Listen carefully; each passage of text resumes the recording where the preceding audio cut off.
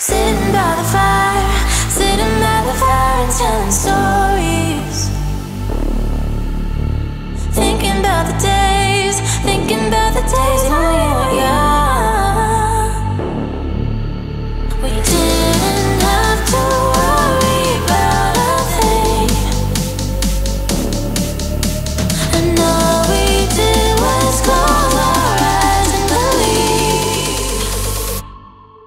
So take me back to